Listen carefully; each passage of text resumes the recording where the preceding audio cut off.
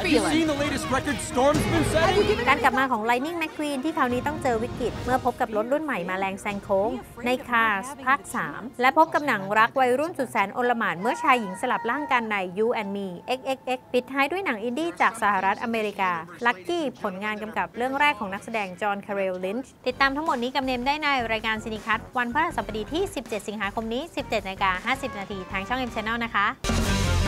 Cine Cut